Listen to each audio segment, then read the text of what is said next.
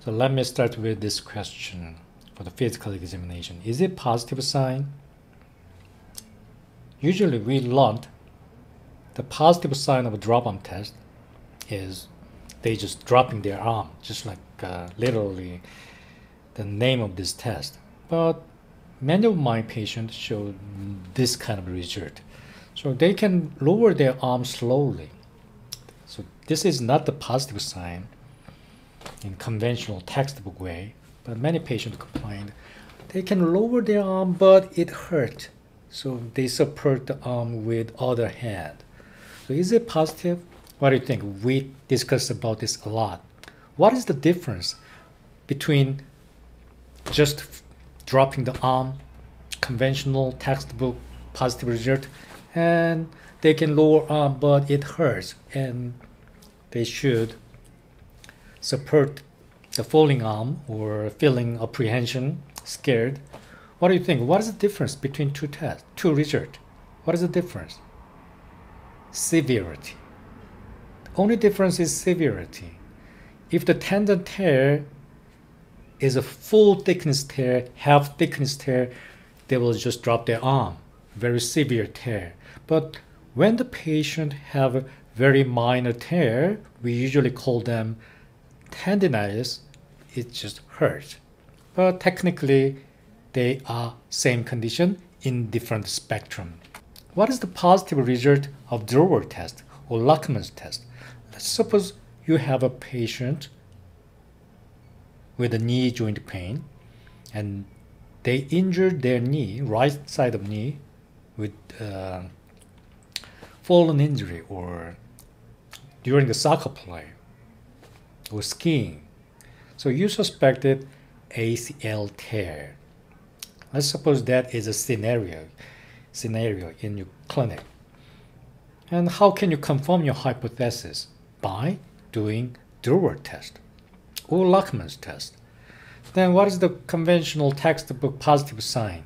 Transition of the shin forward. That means rupture or total tear of LCL ligament. Before we talk about the principles, let's talk about purpose of the test. Why we do the test? Because we cannot see them. We cannot see them. It's, so it is just like a mystery box, right? And we don't know what is inside. So here is the irony. This is simple truth. Truth. This is very important. If we do not know what is a cat, if we do not know what is a cat, there is no way we can tell a cat is inside of that mystery box. It is, is it just common sense, right? It is common sense. To figure out cat is inside first beforehand, we should know what is cat. Am I right? That is the reason I told you we study the basic kinesiology of the muscles, actions and attachment, anatomy, and basic knowledge about the diseases, first we should know about the disease. That is something like you learn about cat. Then you can suspect what is inside the box. What we are testing through this procedure. Only two things, simple two things. Where is the problem and how bad it is? So the tissues, possible culprits, ligament, tendon and muscle, bone and cartilage, and nerve. Only four. We studied about them, and we know what is the specific signs of each tissues. Ligament, instability, tendon and muscles, weakness, and pain with the resistance, and bone cartilage pain in deep inside with compression, and nerve tingling and shooting, pain with compression. So we just learned about that. So we can guess with the physical examination what tissue have the problem. That is the location. Where is the problem? And second, we can tell the cause. It is simple. They are all inflammation. Inflammation in case of tendon, we call them tendinitis. Ligament, just sprain. Tear, rupture. Tear is quite significant tear. Rupture usually refer to very severe tear, like a total rupture, total tear. But these all three conditions are same condition. Then how we do the test. Principles of orthopedic test. There is only one rule, one and only rule. So I'm summarizing everything today. Representing the problem, mostly pain. So you are suspecting this. You are suspecting ACL tear or you are suspecting meniscus tear. If it is an injury of meniscus, this action will reproduce the pain. It's the very delicate way of torturing without damaging the patient, but you should be able to reproduce the pain. That is the reason why we call orthopedic test what? What is the other name of orthopedic special test? Provoking test, provocative test. Which one is right? Anyway, either way, provoking. So provoking pain is the essence of most of orthopedic special test. And to conduct physical test, there's two main procedure. You know about this. First one is stretching them. Ligament and tendons, you are stretching them. If you suspect a ligament and tendon injury, this is the first thing you should think. Oh, I see you have a ligament and tendon injury. Then I can reproduce the pain by stretching it. Can you tell this? If the, it is an injury of the meniscus, I will, I can reproduce the pain by compressing it. So this is the one and only rule. And first one, first maneuver is stretching it. And second maneuver, what do you think? Squeezing it, compressing it.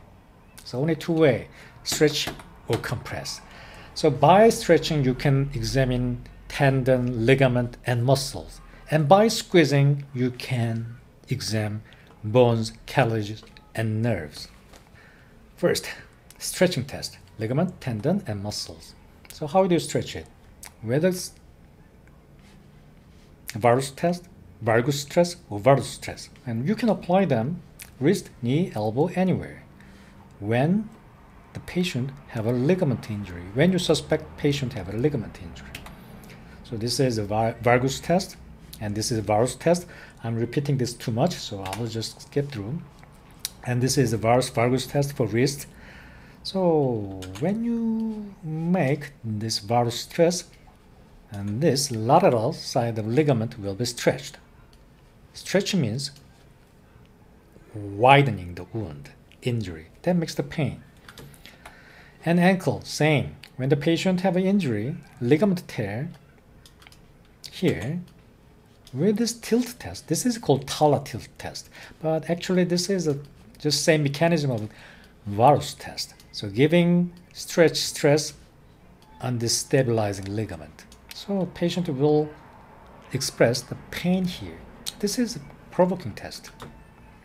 So when you have an ankle joint sprain patient, you can confirm your hypothesis by this Talar tilt test. If you suspect this ligament tear, you can test by pulling forward. And this is anterior drawer test. And this is elbow test, same manner. Then how can we interpret properly all these problems? Please remember the first question I gave you when we start this class. Patients do not have a much of transition with anterior drawer test of knee, but patient complained of pain and the end point was not clear. So how did you interpret them? That is not conventional textbook positive sign. Textbook positive sign is transition. But there was no transition. But I told you that is the positive sign. And we can tell the severity with those different signs, different result. So that is not black and white result, but it is kind of a story, a long story. So how do we tell tear, sprain, strain, rupture with orthopedic test? So um, This is the grade 1 tear. We usually call this inflammation, tendinopathy. And this is grade 2 tear. We call this tear.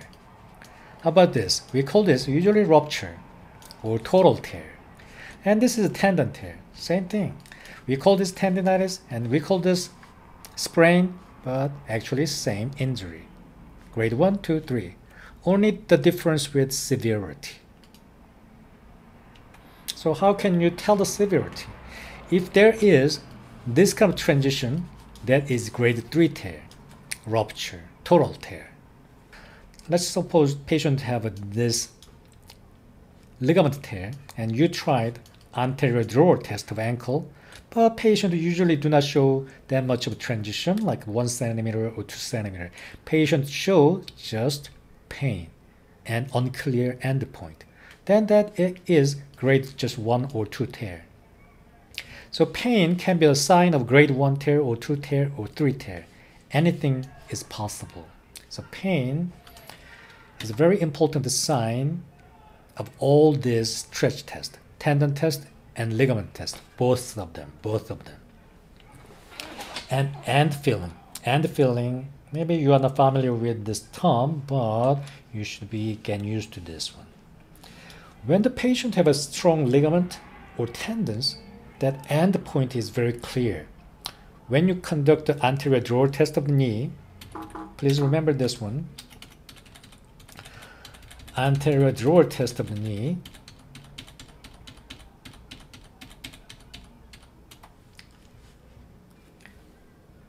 When the patient have a very strong ACL, it stops suddenly at a certain point very strong endpoint, clear endpoint.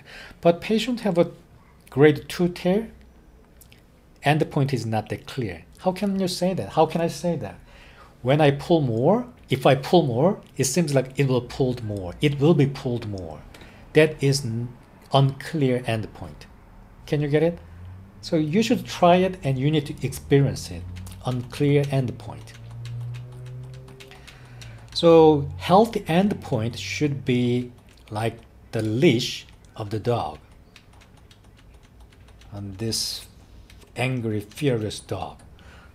So here is tightening, very clear endpoint, but endpoint can be soft and mush. That is the sign of big tear, significant tear, grade 2 tear. So this is examiner's side feeling, so please practice it. And these are all signs of ligament test. Lachman's test, Trober's test, or Varus test, or valgus test, patient pain and stability, instability, like a hypertransition, and practitioners altered end feeling, altered, changed end feeling, different end feeling. So all these stories, all these stories tell you the severity, severity of the injury. So you are checking the location and also severity with physical examination. Tendon test is a little bit complicated, a little bit.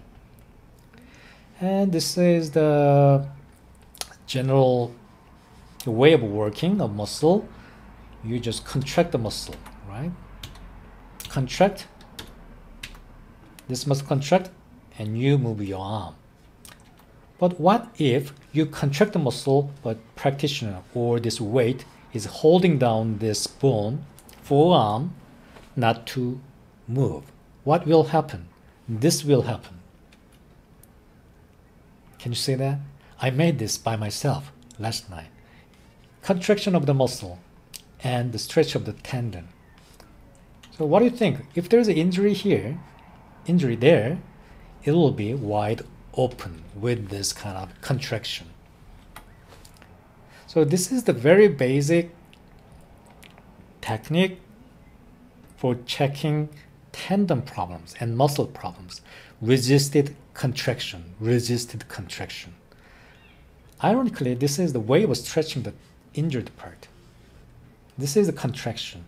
So holding it, not to be moved. She tried to extend the wrist but practitioner is holding it. So muscle is contract, contracting, but actual movement is not happening. That means this tendon is being stressed from both side, both side. This is exactly same thing with this one. Identical, different part. Holding it, the muscle is contracting without movement, and the tendon is stressed. So this is a golfer's elbow test, and this is tennis elbow test. Mechanism is identical. This is the restrict contraction of extensor muscles, and this is rest resisted contraction with the flexor muscles. So golfer's elbow, flexor. Tennis elbow, extensor. Only difference with the muscles. Mechanism is same. Mechanic is same. And how about this? This is a little bit complicated, but you can tell this. This is Joubert test, and this is the way of testing which muscle? Supraspinatus. Supraspinatus. Because supraspinatus is the muscle you raise your shoulder, abduction of the shoulder. So this is a way of resisting it. Resisting it, and patients try to contract, raise the shoulder, and contracting deltoid and supraspinatus. So when they have a problem here, muscle and tendon, they will produce the pain. Here, this is the supraspinatus. And let's see how supraspinatus raise your shoulder. See? Uh, this is the front, and that is the back. This is the back side, and this is the front side, and this is the scapula. Let's say this is a trunk. This is a trunk, and this is your shoulder. So this is a contraction of the muscle. Contraction of the muscle. This is rotator cuff tear. Technically not rotator cuff, but supraspinatus tear.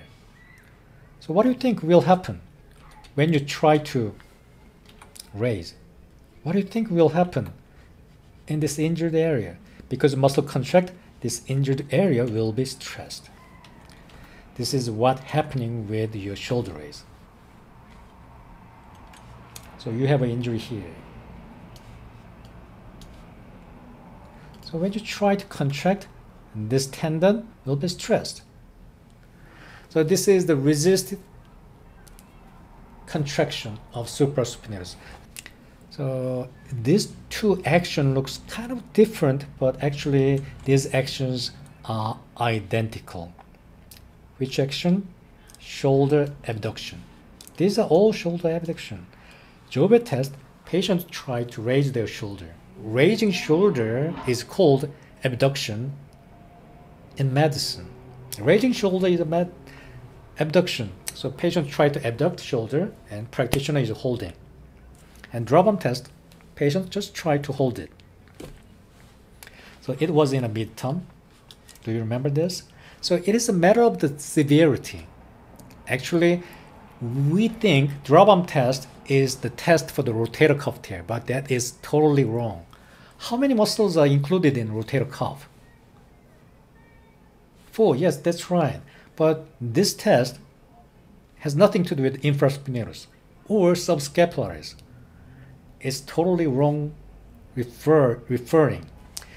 This is test only tests the supraspinatus tendon tear. So when the patient cannot hold their arm, that means grade 3 tear of supraspinatus. Grade 3 tear or very severe grade 2 tear. We can call that uh, half thickness tear. How about this? Same thing. This is the test.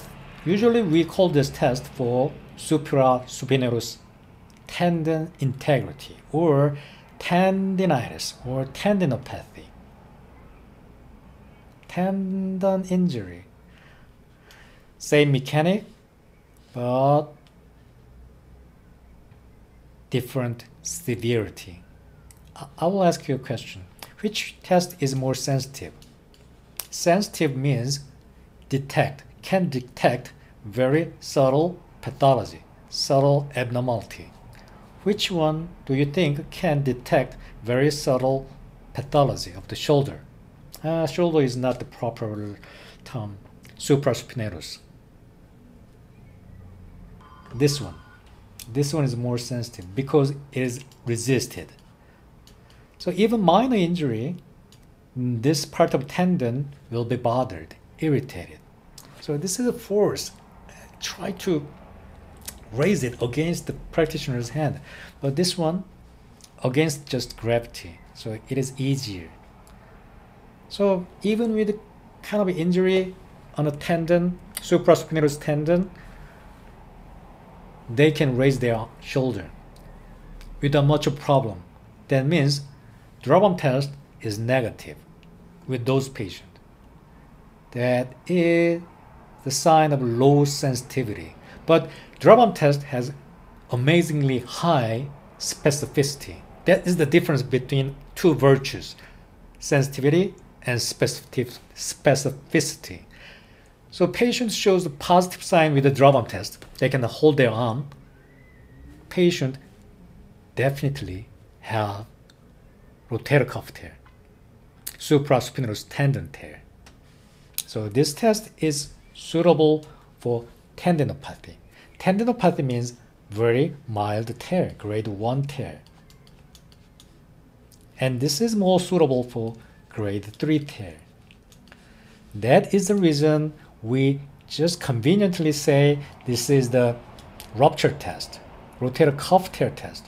And just conveniently, we call this tendinopathy test. So I cannot say I cannot say that is completely wrong, but I hope you understand why this test is more sensitive than drop test.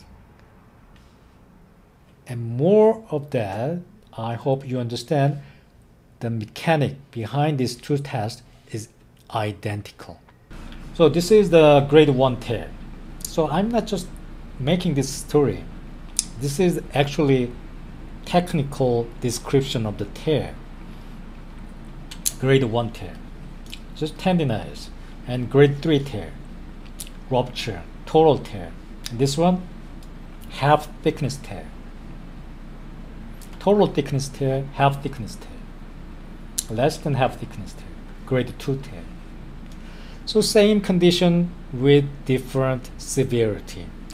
So when you suspect this kind of tear, this test will be more suitable. And this kind of tear, this test will be suitable. But how can you tell patient have a small tear or large tear? So different sequence. You should do the test first and then you can suspect narrowing down the condition severity and also when you have a hypothesis you can confirm it if it doesn't work you think about other hypothesis another hypothesis and you try your hypothesis with other tests that's how it goes i told you positive sign of ligament test is instability and pain and different end feeling. And positive sign of tendon test, pain, especially with the resist. That is the positive sign of all the tendon tests, like this, or golfer's elbow. What else? Jumper's knee test. And muscle weakness, like a drop arm test. And here is a question. Please make me happy. This is another rotator cuff, one of the rotator cuff, another one of the rotator cuff, infraspinatus. How can you test the malfunction of infraspinatus, like an infraspinatus tendinitis? How can you test that? How? How do you test that? Infraspinatus. Here, then we need to start from the basic anatomy and physiology. What is the action of the infraspinatus? And what are the attachment? What is the attachment of the infraspinatus? Here, obviously, lateral side of humerus, and this is scapula. I told you scapula is the trunk. So this muscle is attached from trunk to outside, lateral side of humerus. So trunk to humerus, trunk to humerus. And what does this muscle do? What is the action?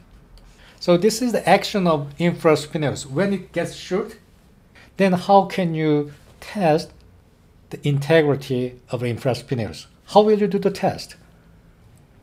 Patient is able to repeat this motion without problems, it should be performed once again, but this time against resistance applied by the examiner.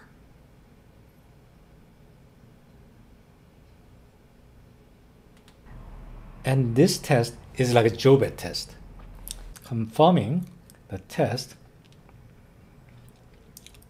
with resist. Okay, summary, ligament, take care of stability, and tendon and muscle, take care of movement, right? Tendon and muscle, take care of movement, and ligament, take care of stability. So how do you test them? Test instability or increase the transition ligament because that is those things are what ligament does and tendon and muscle problem you test weakness because weakness the force is what tendon and muscle does so all the tendon tests not all most of tendon tests involve the resist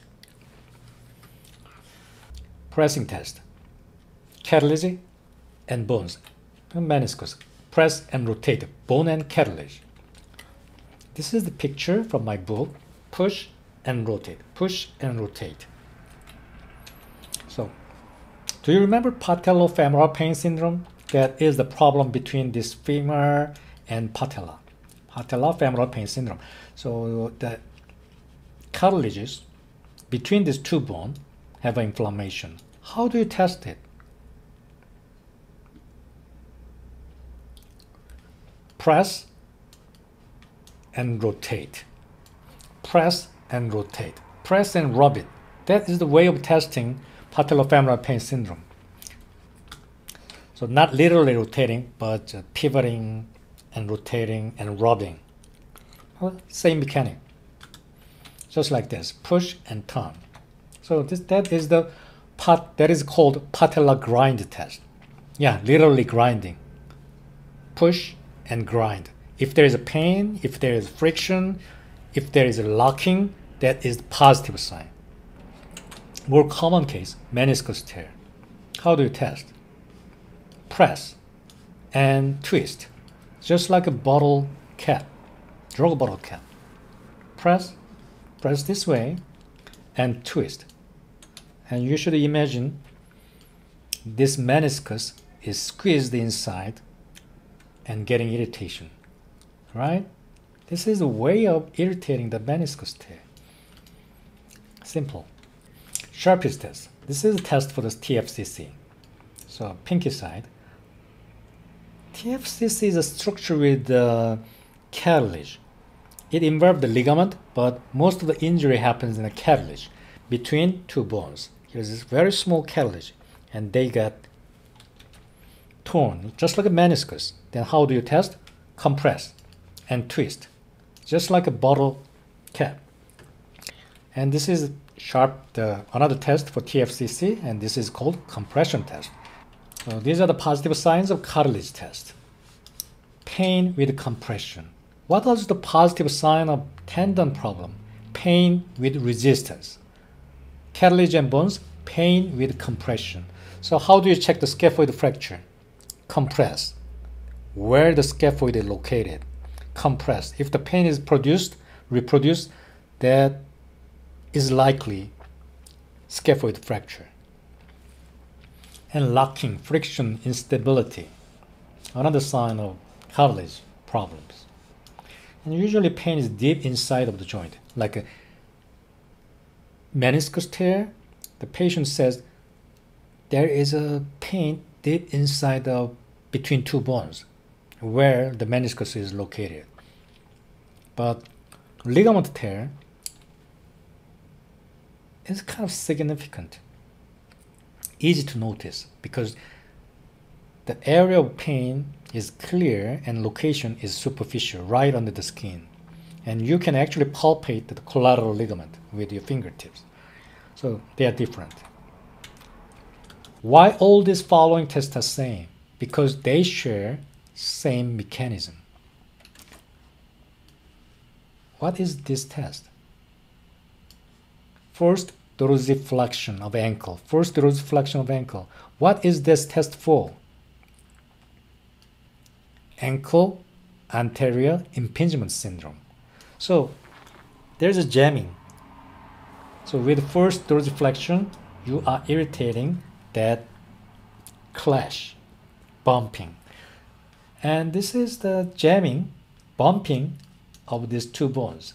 And here is a meniscus. And this is a compression test for cartilage. So all these tests examine something between two bones with compressing and twisting. So if you suspect something inside between two bones, you can test this way.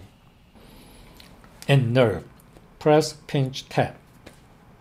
So bones and cartilage relatively simple. The test of bones and cartilage are simple, but nerve can be a little bit tricky. This is a Tinel sign.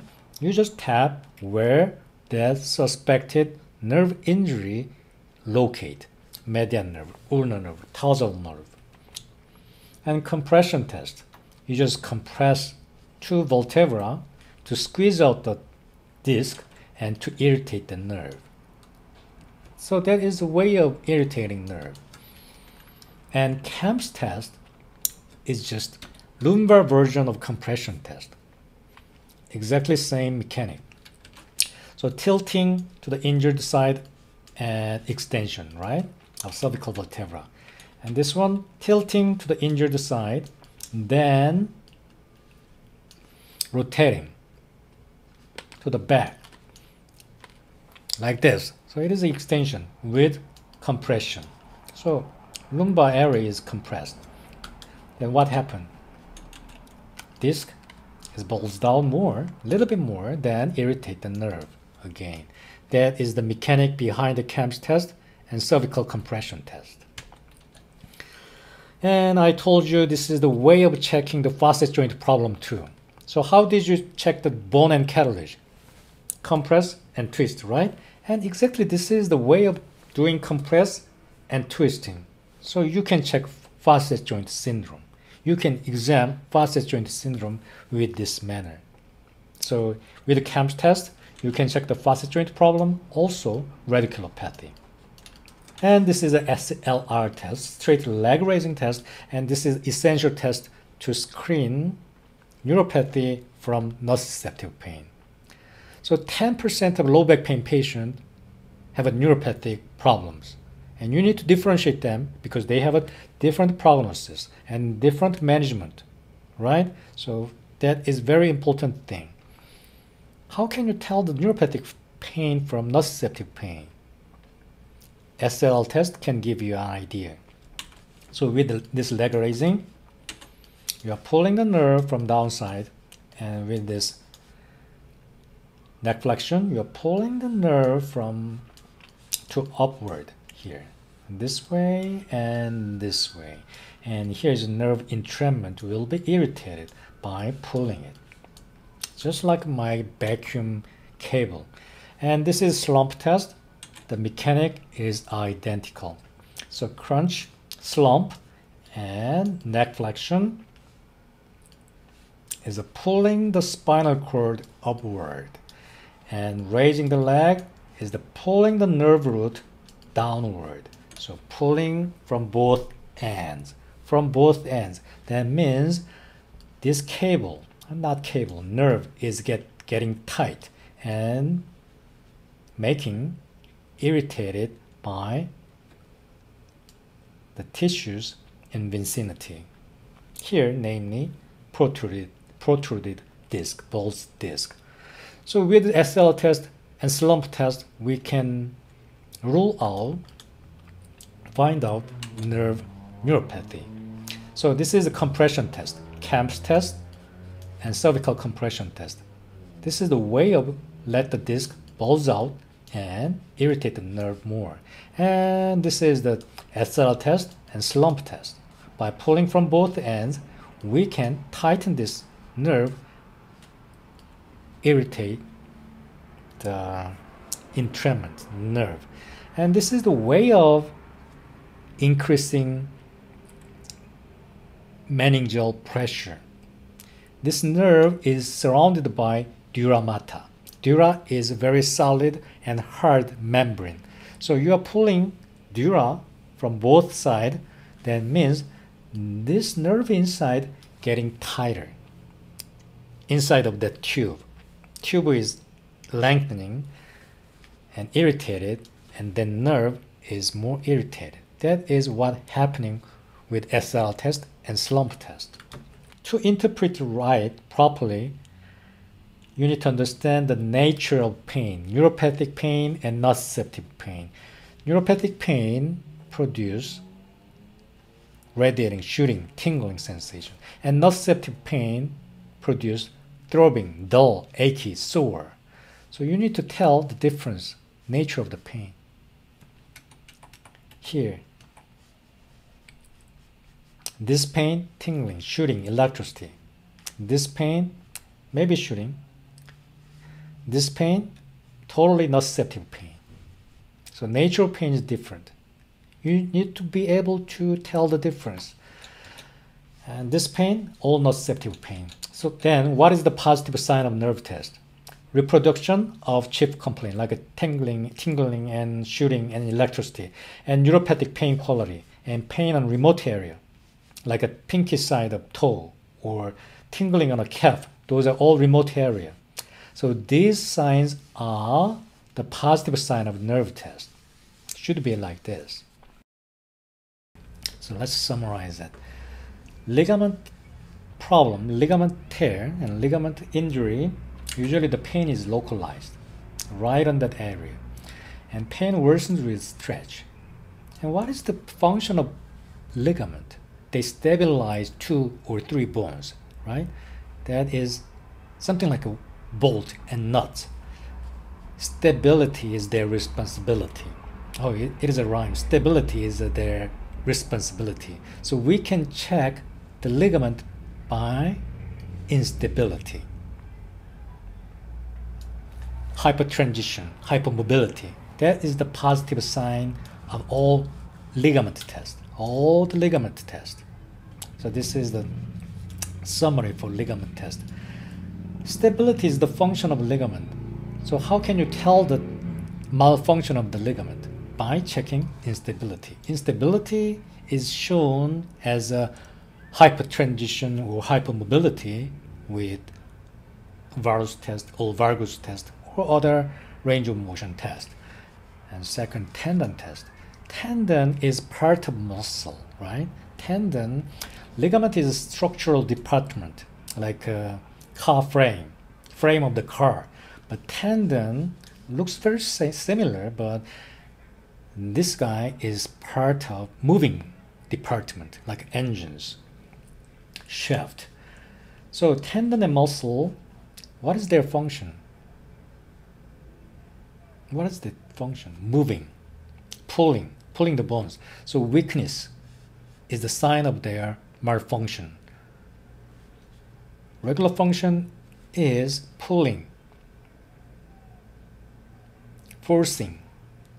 So how can you tell the malfunction of the tendon and muscle? By its weakness. We can tell it has a problem. So drop test is a very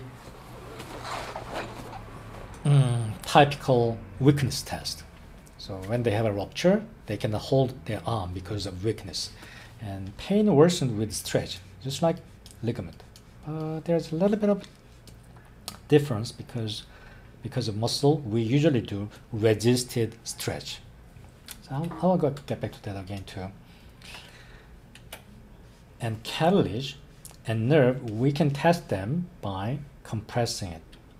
And cartilage and bone pain, usually dull pain, but if there is a fracture, it does not end up with dull pain, but it will have a, you will come up with very sharp and throbbing pain. But I'm, I'm just talking about cartilage injuries or just minor fracture, very minor fracture, like a hairline fracture, linear fracture.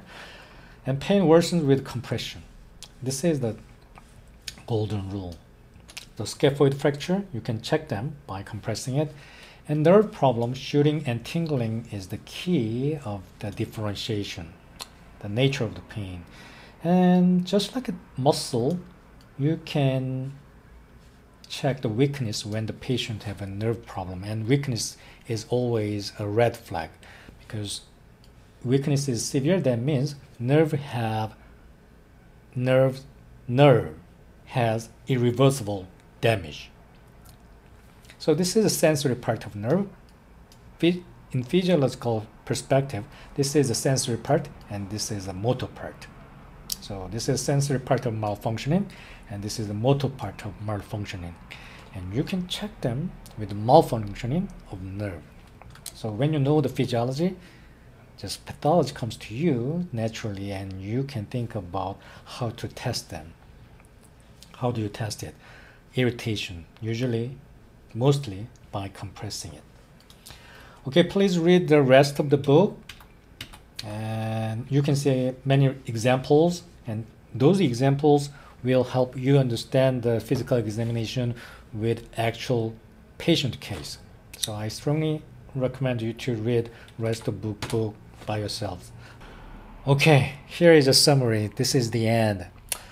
Joubert test, drop arm test, Neer sign, those all supraspinatus tendon test. I told you different severity and different disease.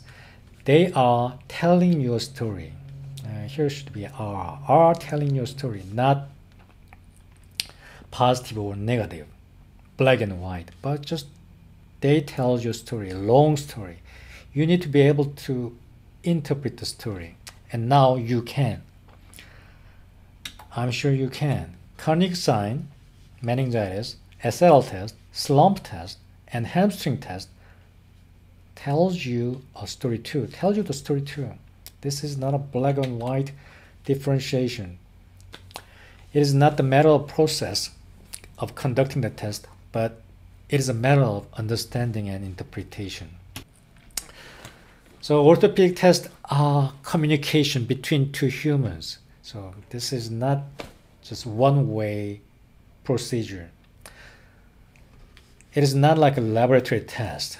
It includes emotions and subjective feelings, subjective feelings like end, end point feelings, both patient and practitioners. And patient will tell you all different description of the pain, provoked pain. And patient all different. Responses are not all the same. You can get just information as much you understand. Right? This is what we discussed all through the semester. Okay, thank you very much.